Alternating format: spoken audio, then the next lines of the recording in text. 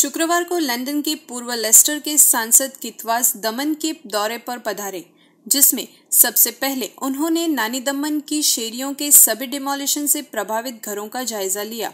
उन्होंने वहाँ रहते स्थानियों की मुलाकात भी ली और उन लोगों से बातचीत कर उनकी समस्या से रूबरू भी हुए, जिसके बाद सांसद कितवास दमन दीव दादरा नगर हवेली के प्रशासक प्रफुल्ल पटेल को मिलने पहुँचे, जहाँ उन्होंने हो रहे डिमोलिशन की वजह जानी। उन्होंने प्रशासक से आगे की डिमोलिशन कार्यवाही को रोकने का अनुरोध किया, जिस पर प्रशासक प्रफुल्ल पटेल ने कोर्ट की कार्यवाही के मुताबिक कदम उठाने का आश्वासन दिया है। सांसद किथवास के इस दमन दौरे में उन्होंने दमन के श्री माची महाजन समाज के साथ मिलकर एक बैठक भी की। सांसद किथवास का दमन के श्री माची महाजन समाज के विशाल टंडेल नगर पालिका काउंसिलर चंद्रगिरी टंडेल सहित अन्य सदस्यों ने गर्मजोशी से स्वागत भी किया। The purpose of my visit to Daman today was to meet the administrator, Praful Patel, Yeah. and to discuss with him the concerns that have been raised with me by people who live in Leicester about the demolition of houses here and the proposed demolition of houses.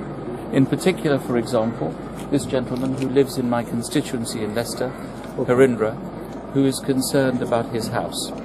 I had a very good meeting, a very constructive meeting with the administrator, and we discussed exactly what the plans were, and he has given me an assurance that there will be no further demolition until the court has completed its decision. But in the meantime, we want to start a dialogue with residents such as Harindra and other people as to what we can do when that decision comes, whichever way it goes.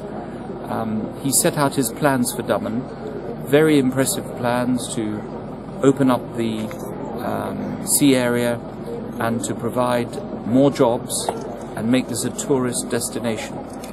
I promised to go back and create links with Daman, especially in terms of education, of health, and football and sport. So I think we've established a good relationship, but we need to make sure that people keep their homes. That is obviously the bottom line. I'm a British MP. Yeah. The law of India is the law of India. Okay. And you are pursuing this through the courts. That's the right thing to do. But if people have lived wherever it is, in any country in the world, if they've lived for 45 years in a house, they need more than three days.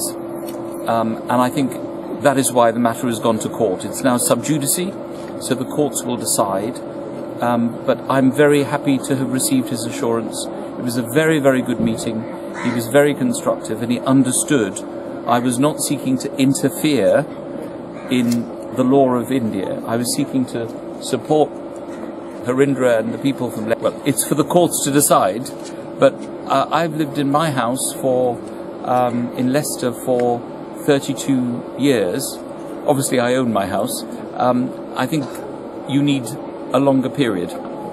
Yes. This sir. is, but it's up to the courts to decide.